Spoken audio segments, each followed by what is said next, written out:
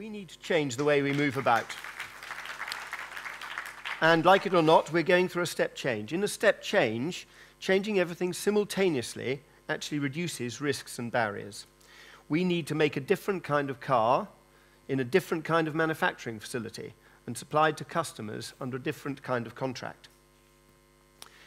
There's no product on the planet that I think is as remotely as good value for money as a modern motor car with all its complexity and refinement. But unfortunately, it's no longer fit for purpose. I'm not the only one who believes that the industry is no longer sustainable, and I mean financially and socially as well as environmentally. There are two distinct flavors of step change.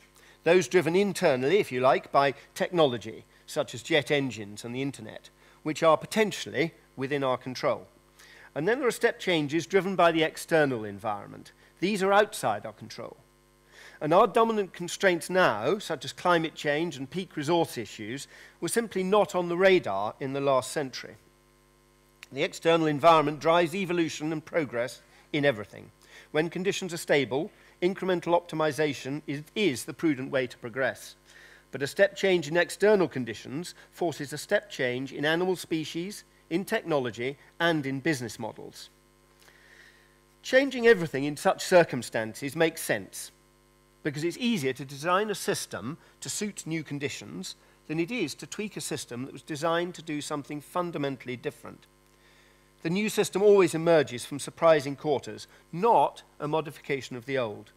Dinosaurs were succeeded by mammals, not by better dinosaurs.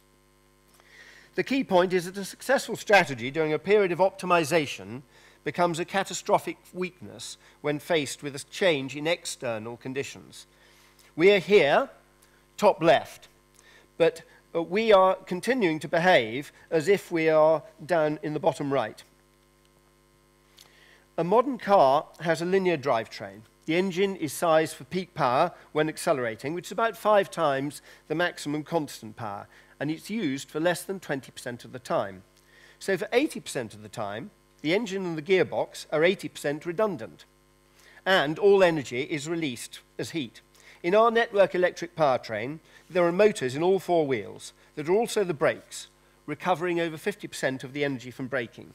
This is stored to provide 80% of the power for acceleration, so the fuel cell can be sized for the, only for the remaining 20%. This downsizing of components and mass decompounding are the real benefits of regen braking. This is the first prototype that we've built for type approval. It's not a direct comparison with the new hydrogen Toyota Mirai, as it is only a two-seater for local use. But it accelerates to 100 kilometers an hour in the same time, just under 10 seconds.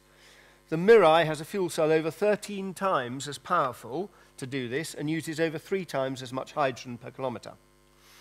To create a market for infrastructure, for intercity cars, hundreds of filling stations are required, a classic chicken and egg. But if you initially come to market with a car for local use, and a lot of people get a car just for local use, the critical scale of infrastructure to unlock a commercial market comes down to just one. A small market, I grant you, but a commercial one.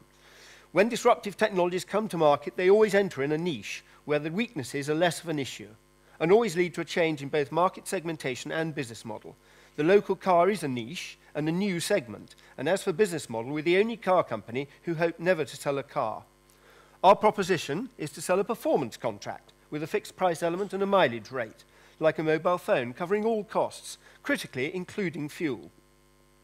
This completely changes our financial drivers from obsolescence and high running costs to longevity and low running costs, aligning our interests with those of our customers. And this generates more revenue per car.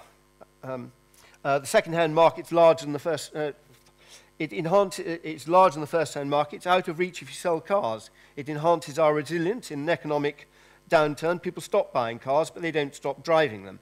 And we're selling mileage rather than cars. This is a shift we need to make. If you sell cars, you, need, you make more money by selling more cars. It also transforms the economics of bringing new low-carbon vehicle technologies to market. If you sell cars, you need to match the supply chain costs of conventional cars, which are staggeringly low.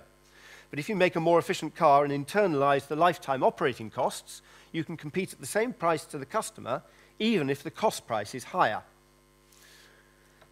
Cars are currently tested in the Arctic and Death Valley, but whoever drives from the Arctic to Death Valley? As with houses, we should build different cars for different regions, environments, and cultures. The weird scale economies of pressed steel bodies dictate a minimum efficient scale of about 300,000 per annum. But for advanced composites, it's only about 5,000. And there's no economic advantage from putting more sets of tooling in the same place. Each new plant can make a different car for different niches. This model is both profitable at small scale and scalable to high volume. And when we bring our cars to market, we will also open source the technology. We want these standards to become ubiquitous. By giving away the recipe for making money from making cars, we expect entrepreneurs to pop up making variants globally. But we can also establish direct joint ventures abroad with a majority local ownership. We firmly believe that a car designed in, for instance, Saudi Arabia, by Saudi Arabians, will be a better car for Saudi Arabia than one designed here in Western Europe. In 2011, I was at a trade conference in which the consensus was that the penetration of the market by 2020 of alternative fueled vehicles will be less than 5% in nine years. This really makes me despair. And here is an example of what can be achieved in nine years. Let's not be witheringly modest in our ambitions. Thank you for your kind attention.